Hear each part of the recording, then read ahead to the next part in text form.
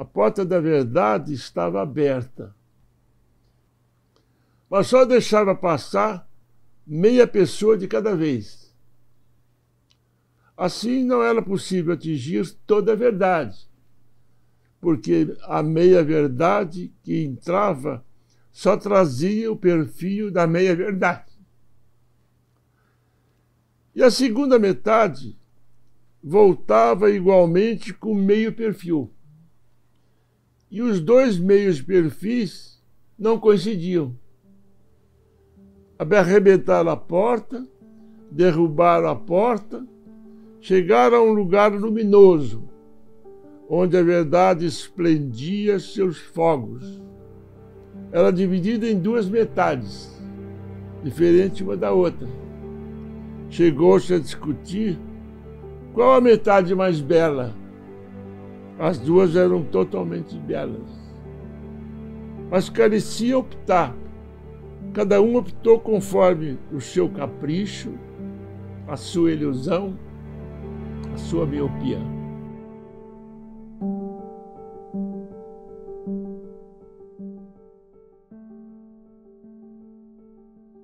A minha vida profissional iniciou já em 1948. Primeiro, morando no interior. Sou mineiro do sul e admirava muito a grandeza das metrópoles. Praticamente possuíam tudo o que um advogado desejava: faculdades, livrarias, teatros, conferências, faculdades. Eu ambicionei, portanto, logo com meus 17 anos, aproximar-me desse centro cultural. E aos 18 anos, entrei no, na Mujana, no seu trem fumegante, e vim para São Paulo. Desci numa aventura espetacular na velha Estação da Luz, dali procurei uma pensão filho de um empresário próspero, não tinha necessidade de se submeter a algumas agruras que passei enfrentando a capital sozinho. Mas insisti na busca da realização do meu sonho.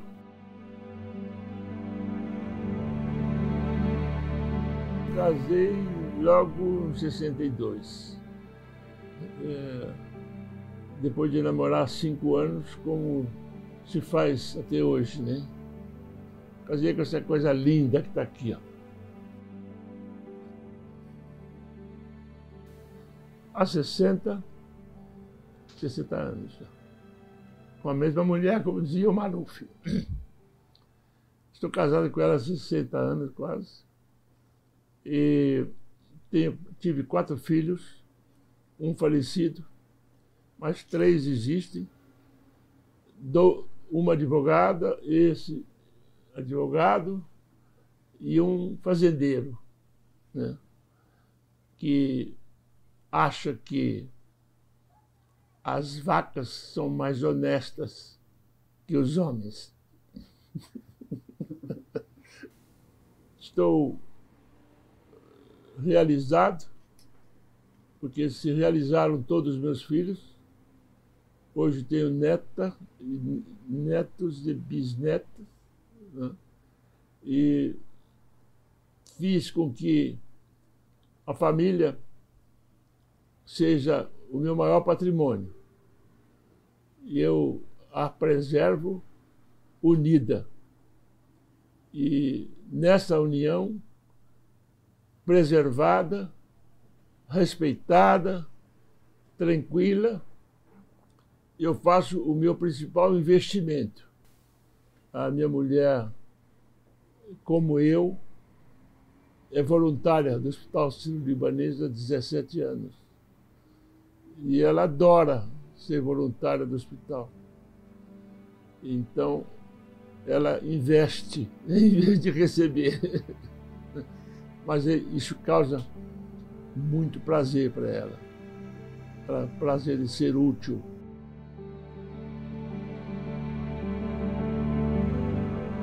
Trabalhei em vários lugares, modestamente, até que em 1951, aos meus 19 anos, fui convidado pelo Consulado Geral do Líbano em São Paulo para prestar colaboração no âmbito dos assuntos brasileiros, já que, já que era conhecido desde então como um bom redator e um bom conhecimento que tinha do Brasil e dos seus problemas. E nessa função de auxiliar o corpo consular libanês que vinha para o Brasil, eu permaneci nessa função por cerca de 20 anos.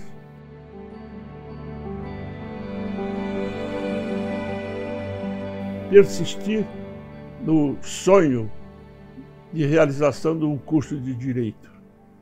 Me aproximei da Faculdade de Direito do Lago São Francisco, admirada por todos como um centro cultural de alto nível, onde ali tinham os mais importantes catedráticos do direito. Me preparei corajosamente para o vestibular de 1952. Fui advertido que se tratava de um, um abuso, porque jovens do interior, eles achavam que entrar na Faculdade de Direito do Lago São Francisco era uma, um trabalho hercúleo, porque lá entravam os filhos dos papaizinhos. Mas persisti, emagreci 13 quilos de tanto estudar, era o último a sair da Biblioteca Municipal da Consolação. Entrei na faculdade. Foi um momento glorioso da minha realização pessoal. Durante esse curso, eu já convivendo com certos alunos mais cultos, eu participei e presidi um conhecido centro de oratória chamado Centro de Oratória Rui Barbosa, que congregava jovens idealistas, estudiosos, que pretendiam evoluir na vida neste campo cultural. Lá estava Hilda Risque, famosa poetisa. Lá estava Mário Chami, jovem, famoso poeta, criador da, da, da teoria da, da poesia Praxis, que foi até mencionada na Enciclopédia Britânica. E lá estava também Dalmo Dallari, e o clássico José Afonso da Silva, o grande constitucionalista, recém-chegado da roça, 17 anos, alfabetizado, calceiro numa, numa alfaiataria. Desejava também fazer curso de direito. Frequentou este centro.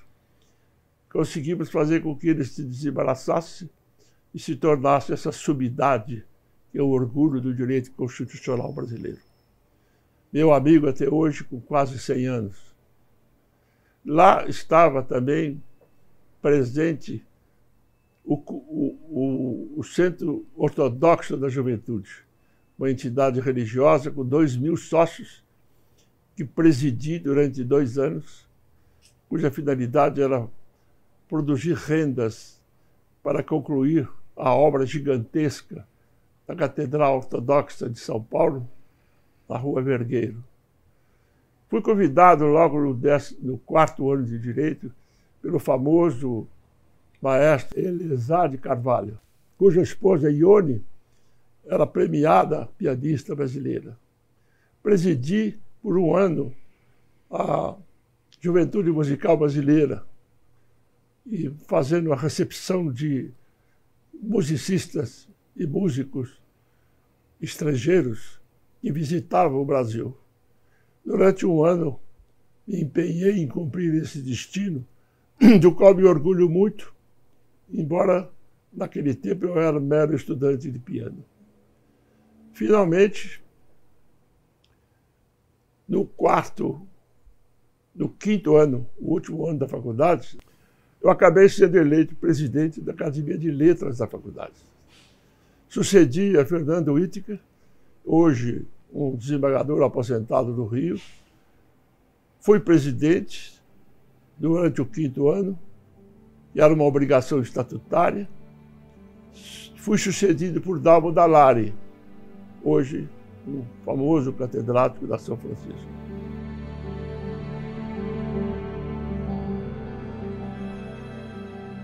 Me formado em 56, eu fui convidado pelas senhoras que constituíam uma comissão que queria concluir o sonho iniciado da construção de uma sociedade beneficente de senhoras para fundar o Hospital Sírio-Libanês.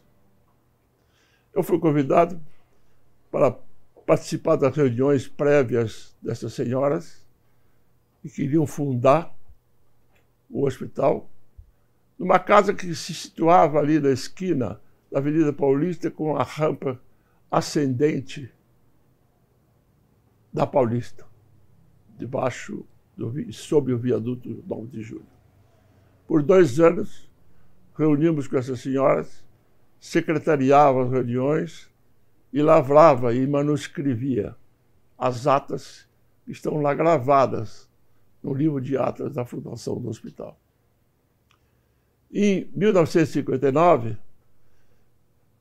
com a colaboração do ilustre professor de Direito Alfredo Buzaide, nós conseguimos efetuar a retrocessão, a volta do prédio que já existia, que fora desapropriado pelo Estado e que ali realizava uma escola de cadetes.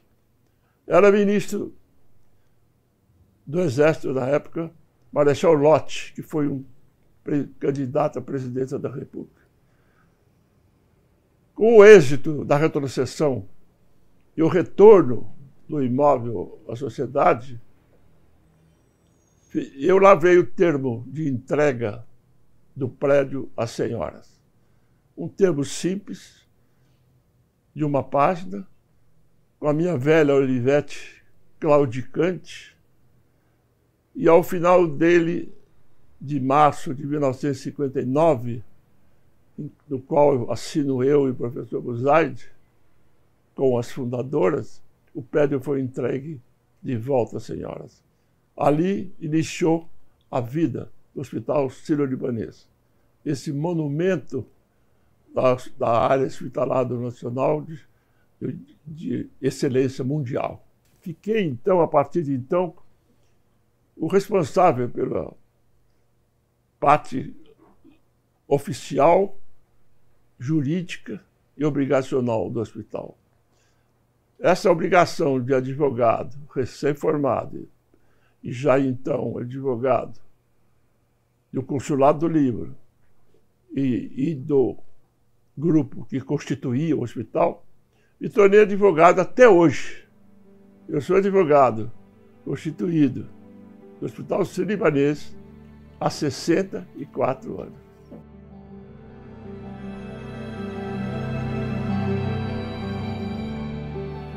dessa nomeação como advogado, eu persisti fazendo uma série de palestras é, junto com colegas e dessas palestras que eu proferia, eu reuni tudo isso num livro de 60 páginas, que foi o primeiro livro ou primeira ousadia é, que eu cometi na vida profissional, mas que eu tenho como um marco do desenvolvimento da minha vida profissional. Em 57 abri o meu primeiro escritório. Tinha me formado no ano anterior. E nessa advocacia eu estou há 64 anos. Ininterruptamente, sem faltar um dia. Uhum e satisfeito, porque, como eu disse numa entrevista proferida para o jornal da Ordem dos Advogados, eu abracei a advocacia porque sentia muita felicidade em exercê-la.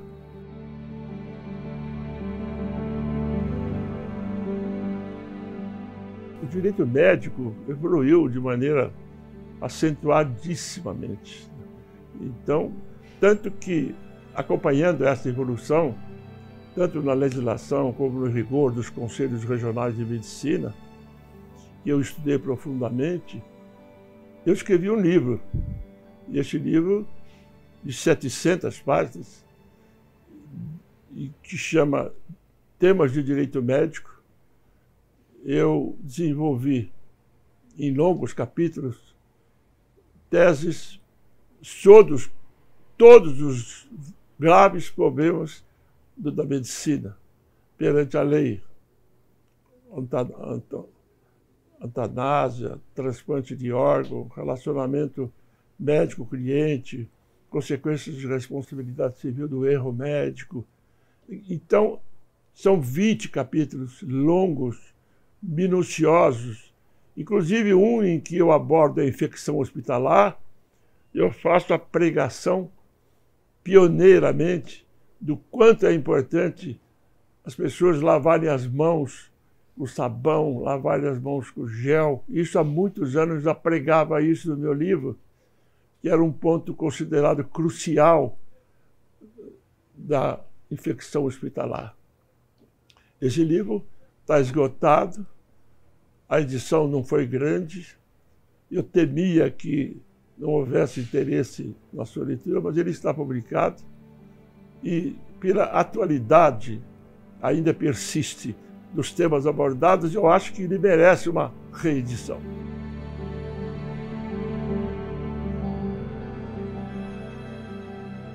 Logo no começo da minha vida profissional, eu não me interessava pela política, mas um fato que eu gostaria de apenas ressaltar, e foi muito gratificante. Certo dia passava na rua 24 de maio, é isso, né? no centro, né? Eu andava com meu amigo, o deputado federal Rui Couto, e ele me disse, você vem comigo um pouquinho aqui numa reunião que está se realizando do PMDB, nesse prédio. Eu incautamente o acompanhei. E chegando lá, estava lá Eunice Guimarães, Mário Covas, eh, Emílio Carlos e uma série de políticos renomados discutiam eh, a escolha de candidatos para vereador e deputados. Eu entrei modestamente no final da, da plateia, me sentei e, de repente, num trecho qualquer da discussão, suscitaram meu nome. E eu, para resumir, acabei sendo aplaudido e saí de lá estupefactamente candidato a vereador por São Paulo. Eu falei para o meu amigo, e eu estou aqui fazendo uma visita casual, saio candidato, é uma violência. Não, você não pode recusar. E a partir daquele momento, calmamente, me senti amarrado a uma coisa que eu admirava, que é a administração pública, feita com ética, com moralidade, com eficiência, mas não comigo, não exercido por mim.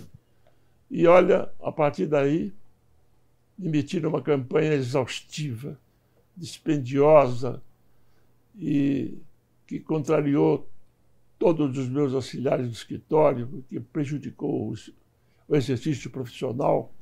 Minha mulher entrou em pânico. Vou perder meu marido, ela dizia. Mas acabei tendo uma votação expressiva, muito superior do que eu imaginava, e que na época, 1968, data da eleição, já em plena ditadura militar, havia sido reduzido o número de vereadores de 70 para 17. E, portanto, o coeficiente eleitoral ficou muito alto. E a votação que eu tive, parece que 11 mil votos, dava, então, daria, eu teria dado para eleger dois deputados estaduais. E eu não consegui eleger vereador porque o coeficiente para vereador era 17 mil. Bom, veio a calmaria, comecei a recuperar as finanças debaladas, abatidas, as finanças arrasadas, gastos de uma campanha infeliz. Essa é uma fase da vida política em que deixaram muitas cicatrizes e que eu prometi que nunca mais me meteria nela.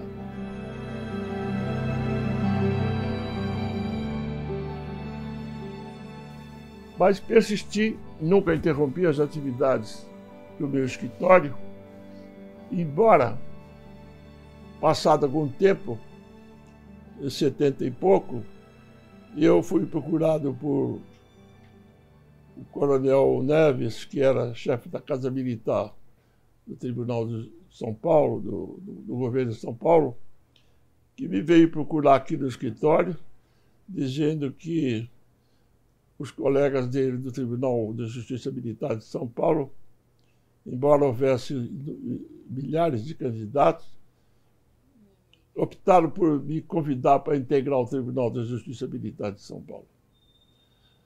Eu fiquei surpreso, não era a minha especialidade, não, mas eu sei que você domina isto é, por causa do, do, do, horizonte da sua cultura jurídica.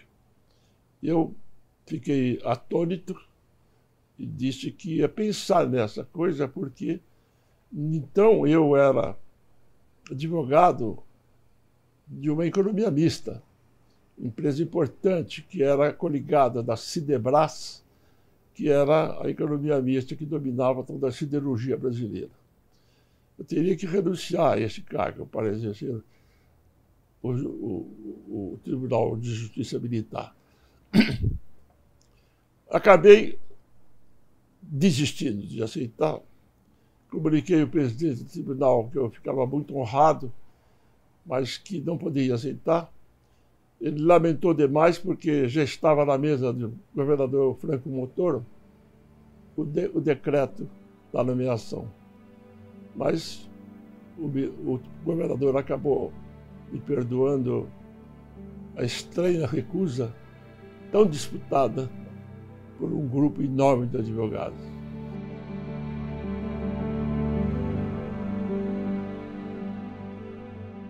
Me mudei para cá, para Faria Lima.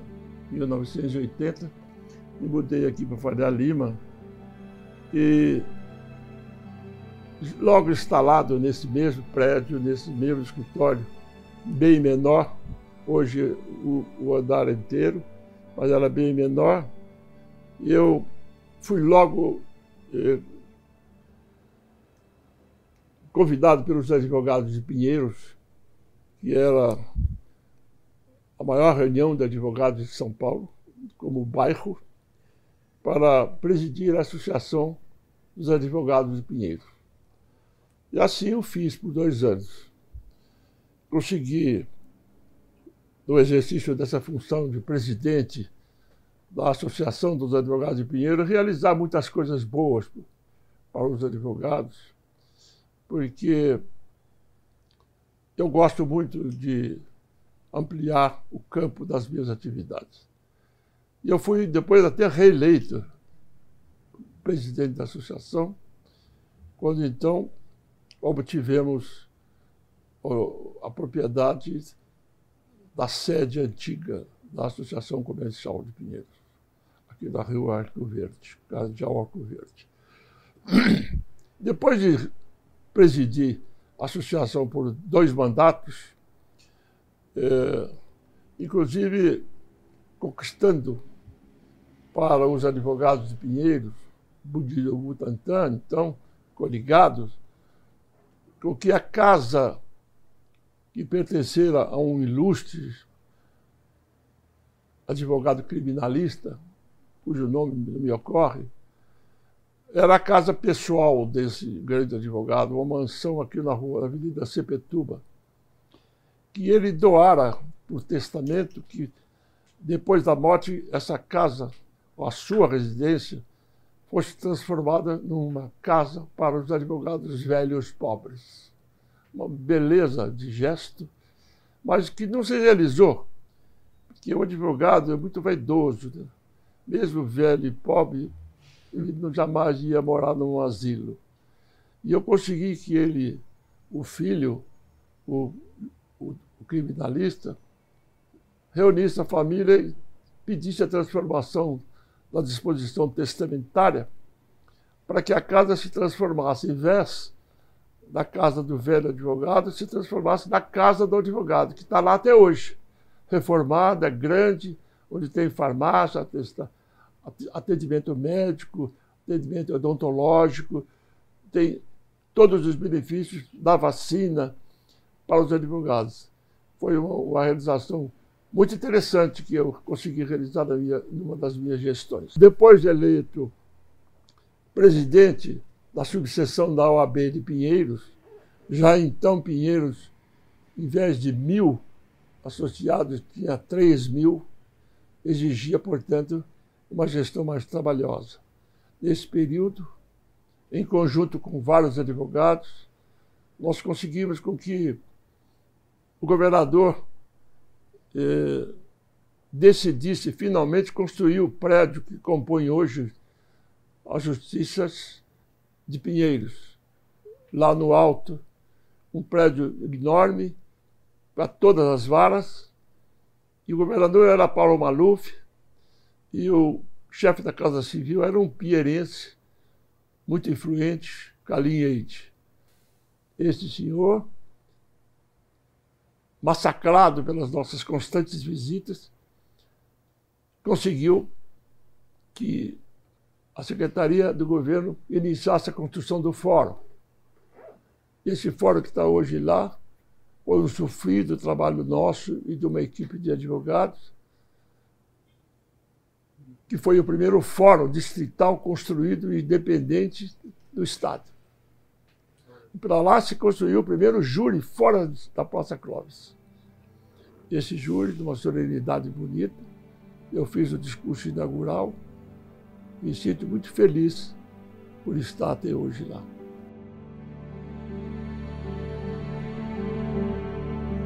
Naquele tempo eu estava ingressando é, como membro do Lions Clubs Internacional. Não sei se você conhece, mas é o maior clube particular internacional do mundo da prestação de serviço. Fiquei muitos anos, fui presidente várias vezes da, da Distrital de Pinheiros. Trata-se de um clube muito grandioso e que promove convenções internacionais é, anualmente, as quais, ou nas quais compareci em quase todas, em todos os países do mundo, onde se desfila em homenagem ao movimento internacional do Lions. E durante esse período, como membro e presidente do Lions Internacional, distrital de Pinheiros, eu fiz algumas realizações muito expressivas, das quais muito me orgulho. Como, por exemplo, eu pedi e recebi do Ministério da Educação 12 mil volumes de folhetos muito bem elaborados sobre droga e entorpecentes. Cada um dos volumes aliás, cada dez, volumes eram dez temas diferentes, é, educativos, advertências, riscos, que se destinava a educar o povo. Esses opúsculos, eu tomei a liberdade de receber aqui no meu escritório um volume enorme e providenciei a entrega disso a todas as escolas de Pinheiro, um conjunto desse material para que fosse distribuído entre os alunos que corriam o risco de se submeterem ao risco do vício. Ao mesmo tempo, desenvolvi um trabalho de proteção à visão infantil. Eu consegui, da imprensa oficial do Estado, o obsequio de imprimir um opúsculo muito bem feito por médicos catedráticos da USP, com conselhos de advertências e cuidados a serem tomados pelas mães em relação à vista dos seus filhos menores. Distribuir esse material em todas as escolas de Pinheiro. Eh, todo esse trabalho era um trabalho pessoal, independente do Laios, mas em nome do Laios, com impresso do Laios, como uma contribuição minha pessoal, uma realização minha pessoal no meu, nas minhas obrigações de cumprimento de obrigações comunitárias. Eu realizei, na época, uma publicação elaborada por um publicitário sobre higiene cuidados urbanos que o cidadão devia atender na via pública, lixo, resíduos, sujeiras, que provocavam entupimento de canais, de bueiros. E, era também motivo para desenvolvimento de bactérias e insetos danosos à saúde. Fizemos uma campanha com o apoio da Casa Civil do Governo do Estado, de doação de órgãos humanos para transplantes. Os médicos colaboraram com isso e fomos distribuídos em todos os grandes supermercados um folheto específico. E foi o período em que um decreto exigia que na carteira de identidade houvesse a existência de ser ou não doador. Mas houve um relaxamento. Né? Era na época que eu estava elaborando o meu livro, Temas de Direito Médico. Mas existe no livro um capítulo bem meticuloso a respeito do transplante de órgãos, é, tanto na área médica como na área do direito que regula isso numa lei específica. Né? Antes da, do LAS, ainda a gente, na Associação dos Advogados, nós conseguimos construir a primeira biblioteca pública dos, de Pinheiros. Era secretária da Educação, uma professora da USP chamada é, Marilene Chui. Chui. É isso? Ela era secretária. Insistimos, insistimos até que ela convenceu o prefeito da utilização de um terreno que tinha na esquina da Arco Verde com Henrique Schaumann, e ali foi construído a Biblioteca Pública, o nosso esforço. Dali fiz uma campanha de doação de livros, inclusive dei 500 volumes que eu tinha em casa, já era uma matéria superada para mim.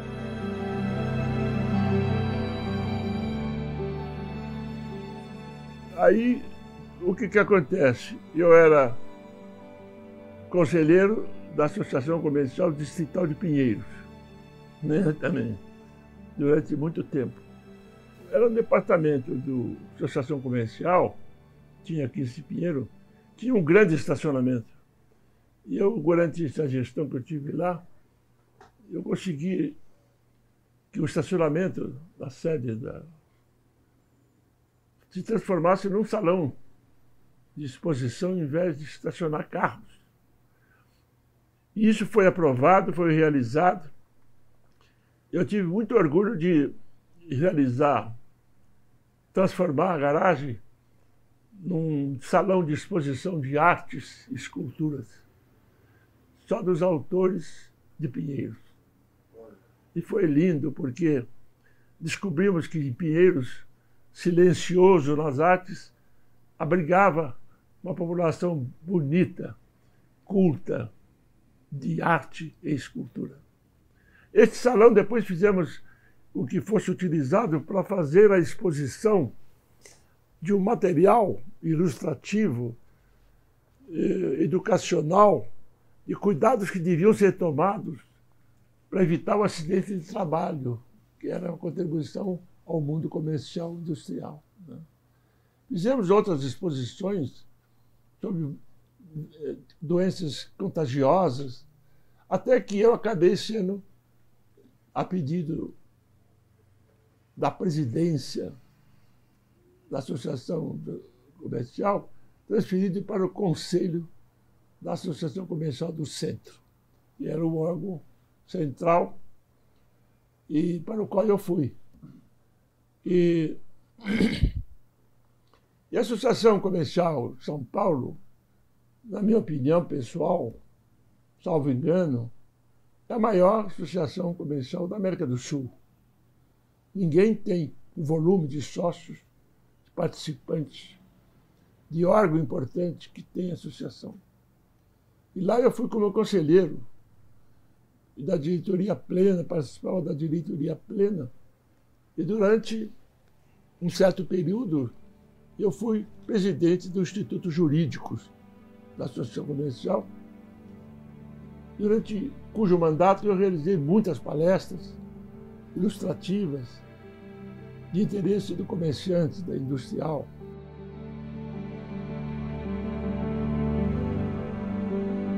Mas, ao mesmo tempo, eu escrevia artigos para o Diário de Comércio e o Diário de Indústria e Comércio. Durante os 20 primeiros anos, participante do conselho da diretoria da Associação Comercial, eu escrevi 300 ou mais artigos nos jornais. Eram artigos que abordavam temas políticos, abordavam temas sociais, temas jurídicos e até alguns temas mais suaves dentro da seriedade que tem um jornal comercial. E esses trabalhos é, tanto foram aplaudidos que eu aceitei o convite depois para que uma seleção de 200 artigos, desses artigos, pela sempre atualidade dos temas abordados, merecesse ser reunido num livro foi assim que eu os reuni, 200 deles, num livro que se chama Cidadania. Um livro grande, que teve o privilégio, que eu tive o privilégio, de ter como prefaciante o grande amigo jurista Modesto Carvalhosa. O primeiro livro que eu escrevi antes desse, caminhos tortuosos da advocacia, foi uma tese apresentada numa convenção nacional da OAB como uma tese em que eu defendia a necessidade do aperfeiçoamento dos princípios que regulavam a imunidade do advogado. Estava sujeito, no tempo da ditadura, a algumas arbitrariedades inadmissíveis e que perturbavam o livre exercício da profissão.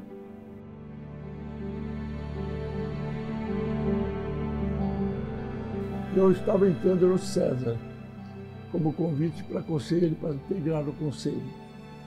Não sei se você sabe quem é o César. É um órgão centro de estudo da Sociedade de Advogados. O César, na minha opinião, admito, deva tratar-se de uma entidade das maiores do mundo. Porque não acredito que exista no mundo uma, um país que tenha um, uma população de 1 milhão e 100 mil advogados. Consta que a soma de todos os advogados do mundo, de todos os países, seja inferior ao número de advogados do Brasil, dizem.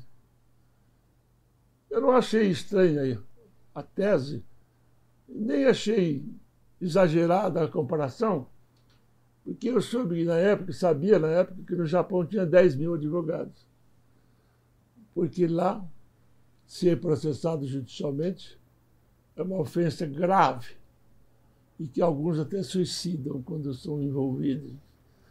Bom, dessa, nessa entidade César, como conselheiro, fiquei muito tempo, mas faço questão de informar que trata-se de uma entidade que tem mil sócios integrantes, integrantes e que cada sociedade tem dezenas de advogados.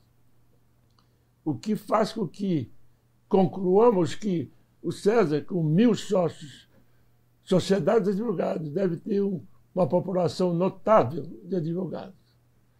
Pressupõe-se que essas sociedades tenham advogados de qualidade, ilustrados, competentes, e que, portanto, deve representar, precisa representar uma força política contra certas inadequações políticas do Brasil.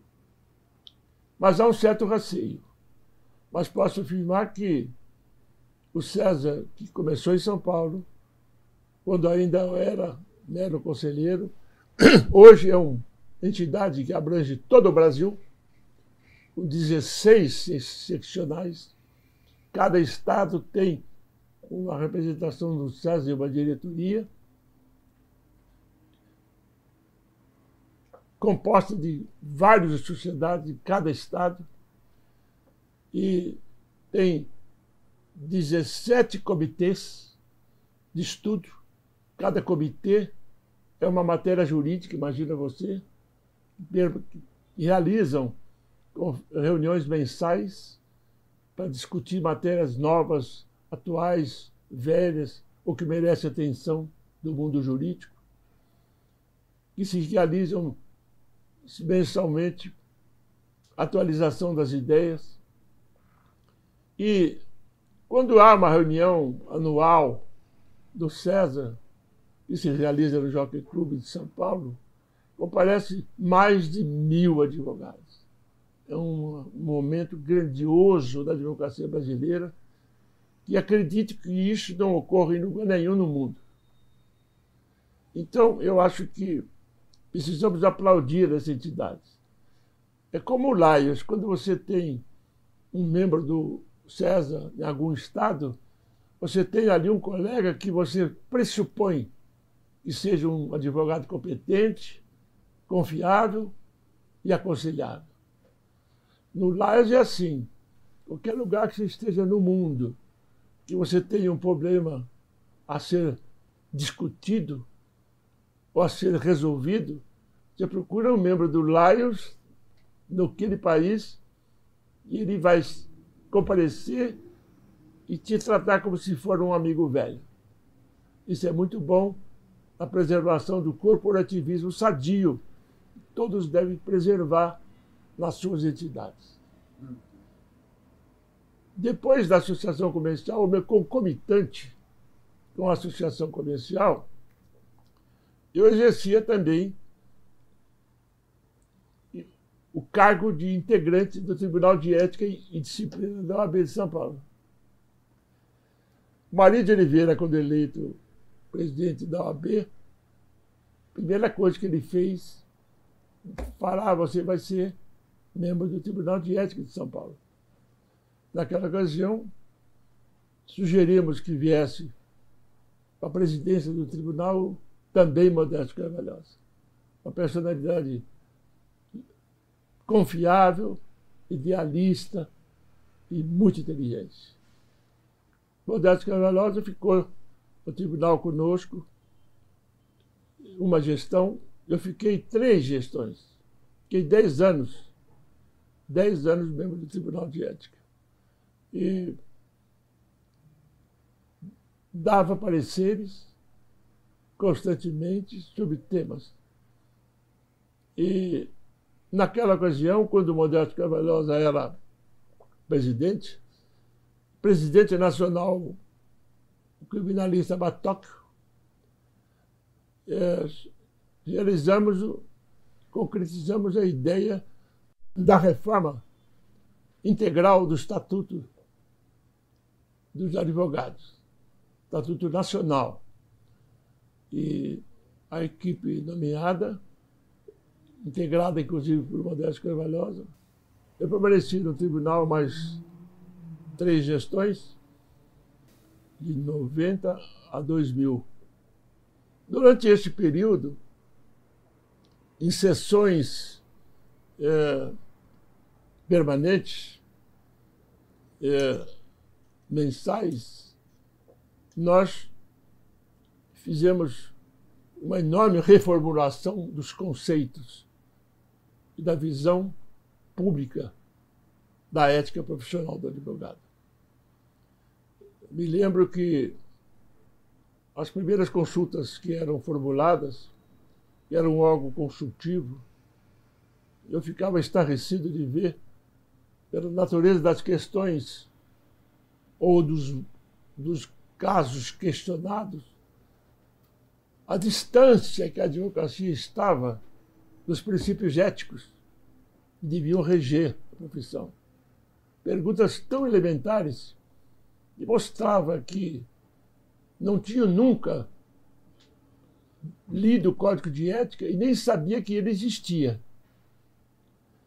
Então propus à OAB que as 34 faculdades de direito existentes no Estado devessem incluir no seu currículo o estudo da ética. Tal era a ignorância que os alunos demonstravam em relação aos seus princípios básicos.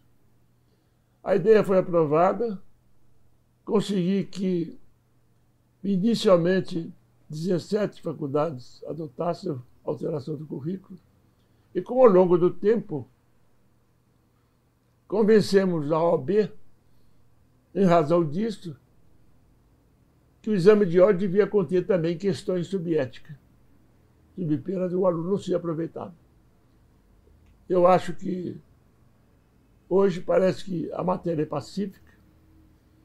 Começamos a publicar, na época, por nossa proposta, as decisões do Tribunal de em jornais, nas revistas, no IASP, no ASP, a ASP, no jornal, Tribuna do Direito e etc., inclusive do jornal interno da OAB.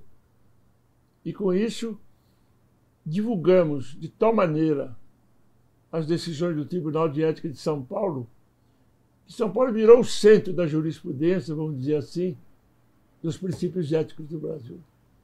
Foi uma vitória cultural emocionante. A partir daí, quando só existia um livro sobre ética, que era de Sodré, que era quase que uma Bíblia, a partir daí, dezenas de livros surgiram sobre o estudo da ética ou comentários integrais do Estatuto da Advogada.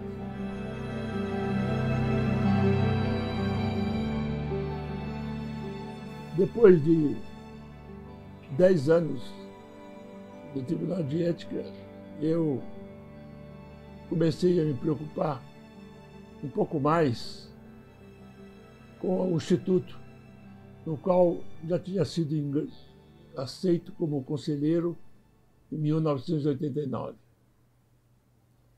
No Instituto, eu comecei a verificar que existiam algumas coisas que atuavam lá e que não correspondiam à vocação do Instituto. O que, eu chamo de vocação? Eu acho que no Brasil existe um pecado nesta área que é a inoperância dos órgãos associativos. é, as associações, os institutos são silentes, são ausentes quando deveriam atuar no cumprimento do seu destino e da sua finalidade perante autoridades. E eu lamento, por exemplo, que no Brasil, à vista de tantos descalabros que existem na política e na administração pública, e em próprios movimentos políticos não administrativos, não há nenhum protesto expressivo, lógico, contundente das entidades. Parece que há um individualismo doentio. Isso não é problema meu, dizem. Então, eu queria concitava, eu concitava meus colegas para que se mobilizassem na defesa de princípios e mantivesse um pouco mais de dignidade na administração pública, que é fundamental para que qualquer país progrida. Isso, e esse mal existe até hoje. É, no Instituto, é, nós desenvolvemos, insisti para que isso fosse desenvolvido, é, ações mais contundentes, mais incisivas, que pudesse mostrar que existe uma entidade atenta, é, cujo respeito deve ser merecido. E eu, portanto, sugeri uma coisa que foi vitoriosa. Por exemplo, os, os membros do Instituto se reuniam é, para um cafezinho prévio, sentavam a Assembleia do Conselho, terminavam e iam para casa, como se nada tivesse acontecido. Acharam que isso não era bem assim que se cumpre a vocação de uma entidade secular, como é o Instituto, cuja vocação é exatamente fazer com que a lei seja cumprida, que a lei seja aperfeiçoada, que os princípios básicos da probidade administrativa devem ser defendidos arduamente. Parece que isso não, não ocorria é, havia uma acomodação é, confortável de que isso pode me machucar. Então, essa preocupação de manter-se. Essas, então, foi realizado, eu, eu defendia, continuando a ideia anterior, que os advogados juristas, professores, promotores, juízes que eram membros do Instituto, são membros do Instituto, se reunissem, além da condição de sócio do Instituto, se reunissem como pessoas, em entidades, em jantares, em almoços, para que a convivência pessoal pudesse, de alguma forma, gerar um sentimento mais comunitário, mais unido, capaz, portanto, gerar uma força que mantivesse o respeito que pudesse impor às autoridades. Começamos a fazer pequenos almoços humildes, passivos do terraço Itália, depois fomos aperfeiçoando. Inclusive, num dos, dos almoços eu fui convidado para falar até que realiza almoços maiores que hoje, como vocês sabem, é, há palestras dos mais ilustres personalidades do Brasil, ministros, inclusive, e que falta lugares. E nesses momentos você fica conhecendo o pensamento dessas personalidades que a gente aceita como nossas autoridades sem conhecer a sua intimidade.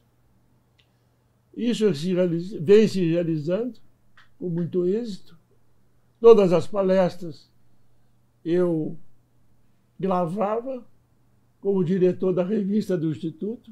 Eu fui diretor da revista, dei aí todos os volumes.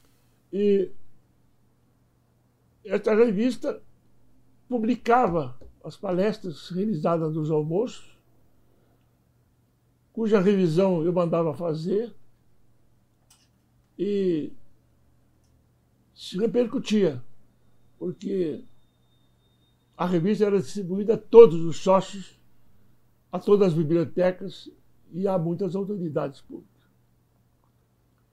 Graças a Deus, conferências continuam sendo realizadas, salvo provisoriamente o impedimento da pandemia, mas com certeza vai voltar, porque é fundamental que isso se realize para que os advogados possam, além do tudo, se reencontrarem pessoalmente, fortalecerem as suas relações profissionais e criar dentro da advocacia um respeito mútuo todos devem ter.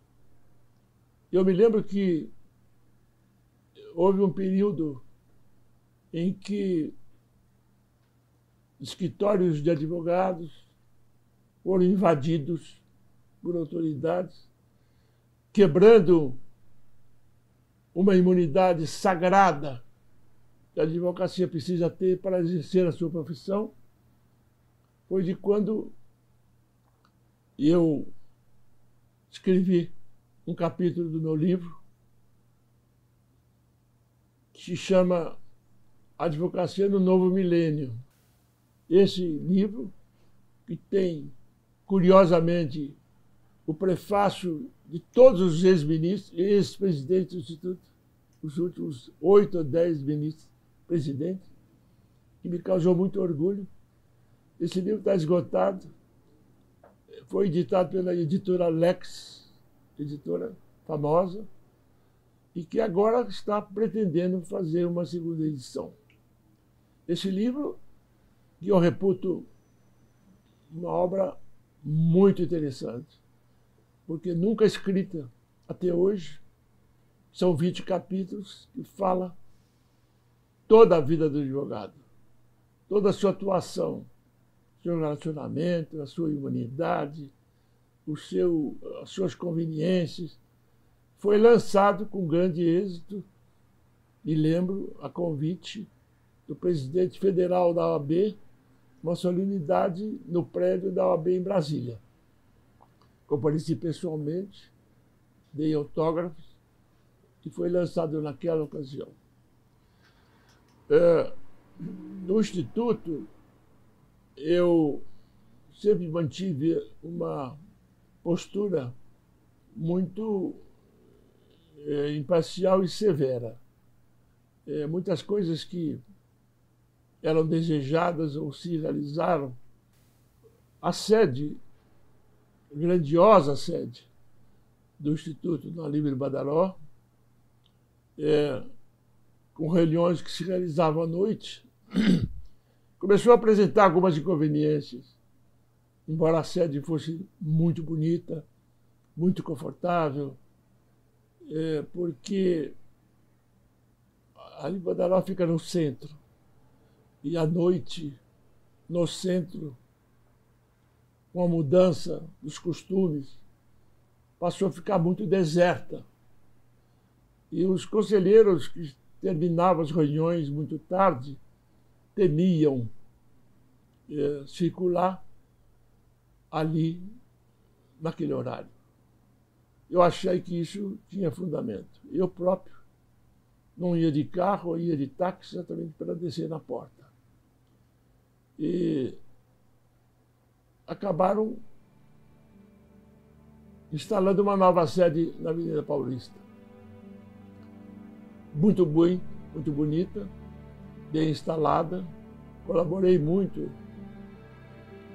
nas ideias da divisão interna.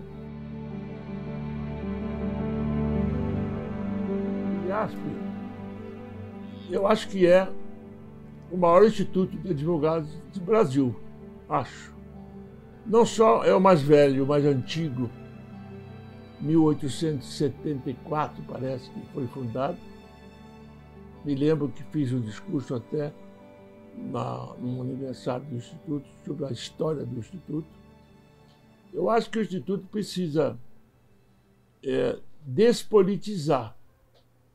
Isto é, não pode haver pessoas que dê, pessoas que deem ao Instituto uma personalidade radicalizada em alguma orientação pessoal. É, tudo lá tem que ser livre, discutido com liberdade, é, baseado em princípios é, não políticos. Eu me lembro que na escolha para o premiado de Barão de Ramalho, que é o maior prêmio do Instituto, foi escolhido para o prêmio ministro eh, Melo. Eu acho que o ministro Melo era muito conhecido e estava sempre sob a luz das ribaltas, iluminado, exibindo a cultura que ele tem para exibir. Mas ele não tinha nada a ver com as necessidades do advogado. Ele nem nada fez para que a advocacia fosse prestigiada, como ela precisa e deve. É como dizia Plínio Barreto, é, que dirigia e fundou a revista dos tribunais, parece. Falava, nenhuma civilização no mundo pode viver sem um advogado. É o único elemento com suficiente coragem, disponibilidade de ideias capaz de manter a defesa da segurança jurídica do povo ou da liberdade democrática de qualquer país. É preciso defender este soldado anônimo que é o advogado, cuja luta ele trava nos tribunais em silêncio, mas faz com que a ordem seja mantida. Nada possa ser feito além dos princípios básicos da lei e da Constituição. Então, aqueles que nada fazem para a advocacia não devem merecer os aplausos só porque estão sob as luzes da ribalta. Foi quando eu disse que, em confronto com a candidatura do Celso Melo, sozinho no, no Instituto, a única voz surgida diz que o meu candidato é Modesto Carvalhosa. Houve um abalo, um silêncio típico na Assembleia, eu falei, por que Modesto? Porque o Modesto Carvalhosa, ele é um símbolo do jurista, do soldado anônimo que luta em silêncio há muitos anos para cumprimento dos princípios básicos que defende o direito do advogado. Foi eleito o Modesto Carvalhosa. Um aplauso Outra vez foi, definido, foi o último, um dos últimos. Estou dando um exemplo para você como é que funciona o raciocínio daqueles que veem o Instituto sob um ângulo distorcido. Quando indicaram é, Tribunal de Justiça para, para ganhar o prêmio Barão de Ramalho, eu protestei eu disse: eu quero que vocês elejam alguém que seja o símbolo do advogado. O que é o símbolo do advogado? É aquele que nasce, estuda, se torna um profissional, luta com humildade, cresce com humildade e não deixa que a lei seja violada. Ou que faça com que a lei seja aperfeiçoada. e sugeriu o nome do José Afonso da Silva. Foi um estarrecimento geral, porque estava colocando um mero advogado para enfrentar o prestígio de um tribunal de justiça. A defesa que eu fiz de Afonso, disse que Afonso é meu amigo há 60 anos. Conheci a Zé Afonso alfaiate de calças, especializado em fazer calças. Recém-chegado da roça e que foi alfabetizado aos 17 anos. Jurou ser professor da USP e foi. E se tornou o maior jurista constitucionalista do país. Hoje, o seu livro, Direito Constitucional Positivo, é a obra que nenhuma biblioteca dispensa. E, portanto, ele é o símbolo do verdadeiro advogado, que nasce um roceiro e se torna o maior catedrático da USP em Direito Constitucional. Não teve outra. Houve um abalo emocional imperdoável e Afonso foi eleito. Quando deu-se a solenidade no salão do Tribunal de Justiça, conhece o hall que tem solene, com colunas romanas, ali que foi feita a entrega do prêmio para os Ramalhas de Afonso da Silva, que fazia, naquele momento, 90 anos de idade. Hoje ele está com 98 ou mais. Que Deus abençoe, meu amigo trabalhador.